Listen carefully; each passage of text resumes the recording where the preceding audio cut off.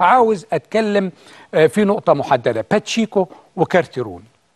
باتشيكو المدير الفني لنادي الزمالك اللي هرب في فترة من الفترات وتم التعاقد معه مرة أخرى. كارتيرون أيضا اللي هرب من الزمالك وراح لنادي التعاون السعودي. فوجئنا اللي هو بينهي تعاقده مع نادي التعاون وحضر إلى القاهرة. والأنباء المؤكدة زي ما كلكم عارفين إن كارتيرون سيكون آه، قائدا أو مديرا فنيا لنادي الزمالك خلال الفترة القادمة. وبالتالي باتشيكو النهارده في المؤتمر الصحفي سأل سؤال وقال أنا الأول في الدوري الممتاز لعبت 21 مباراة هزمت في مباراة واحدة. أتغير ليه؟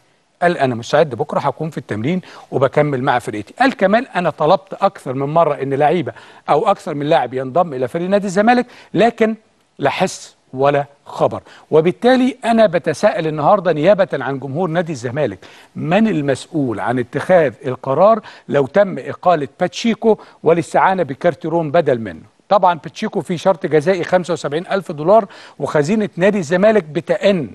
الخزينة بتأن هنجيب منين خلال هذه الفترة؟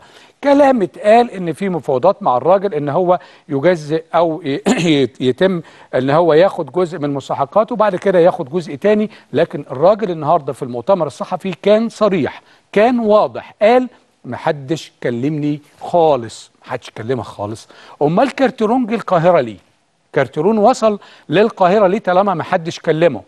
وباتشيكو النهارده موجود وعنده مباراه مهمه جدا أمام الترجي التونسي. ولسه فرص الزمالك كبيرة جدا في المعترك الإفريقي على الرغم من هزيمته من الترجي بثلاث أهداف مقابل آه، هدف في المباراة الأخيرة. الزمالك عنده مباراتين على أرضه مع الترجي ثم تونجس السنغالي وبعد كده عنده المباراة الخارجيه مع مولودية الجزائر. وبالتالي فرص الزمالك ما زالت قائمة. فهل التغيير في الوقت الحاضر مفيد لنادي الزمالك ولا قرار هيبقى آه، يعني آه، في إعاقة كبيرة جدا لمسيرة الفريق خلال الفترة القادمة.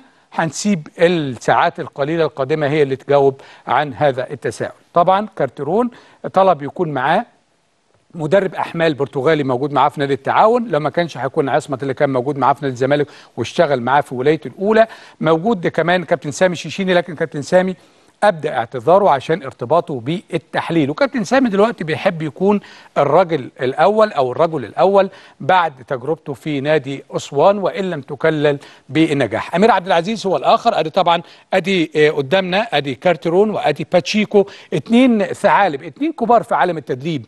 لكن زي ما قلت لحضراتكم آه، الإطاحة بباتشيكو والاستعانة بكارترون في الوقت الضيق ده هيكون له تبعياته في استقرار آه، لنادي الزمالك. وخليني أقول لكم والأمر إلى الله.